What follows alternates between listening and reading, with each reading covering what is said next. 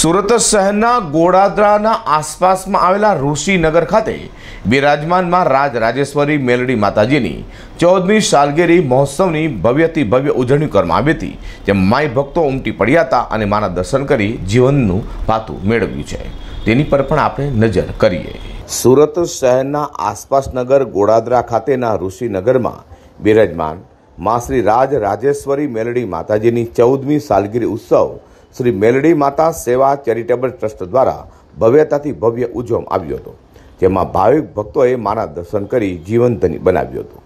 શ્રી રાજ રાજેશ્વરી મેલડી માતાજીની સાલગીરીમાં વહેલી સવારે યજ્ઞ કરવામાં આવ્યો હતો, જેમાં અનેકો જોડાઓ બેઠા હતા અને યજ્ઞનું પુણ્યનું ભાથું મેળવ્યું છે.